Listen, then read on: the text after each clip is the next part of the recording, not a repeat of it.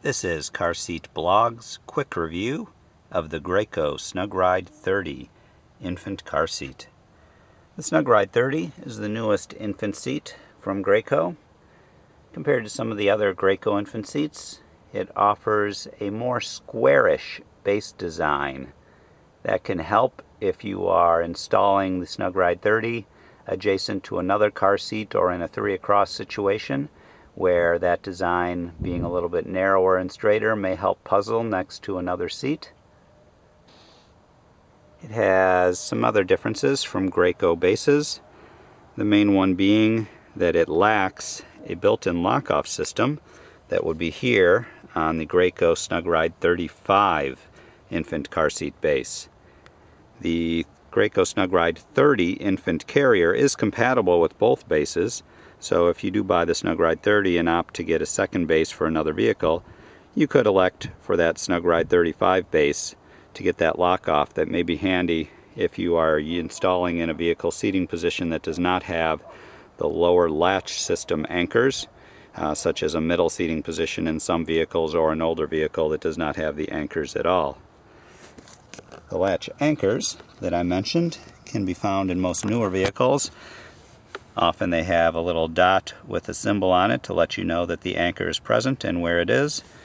This is the latch attachment on the SnugRide 30. Basically you take the attachment, which is a hook in this case, you locate that lower latch anchor, which is a bar. Sometimes it is readily apparent. In this case it is a little bit recessed and downward in this 2011 Chevrolet Volt electric vehicle. And then you just simply put the hook on the bar and pull it tight. Make sure that you are on the bar securely. And then you would tighten the system up by finding the strap that is used to adjust the tightness. And then you would push down on the base while pulling the strap tighter like this. And once you have removed all of the slack hopefully you have a good installation which is verified by seeing if you can move the base more than an inch side to side or an inch front to back and that is done when you grab the base and give a modest tug where the latch system or seatbelt is routed.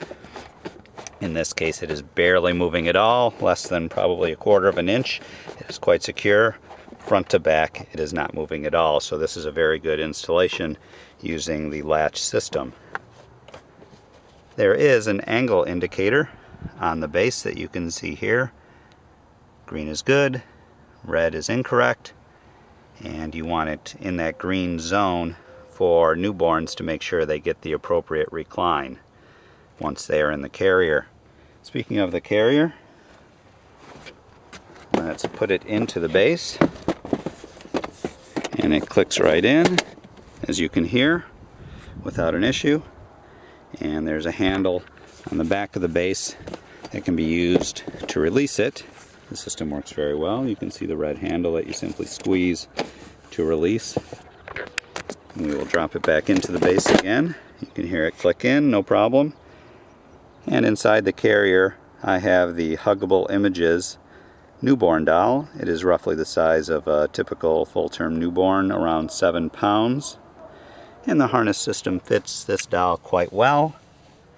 Let's take a look at these lowest harness strap slots, which are right about at the level, maybe a hair below the level of the shoulders on this newborn doll, which is quite good.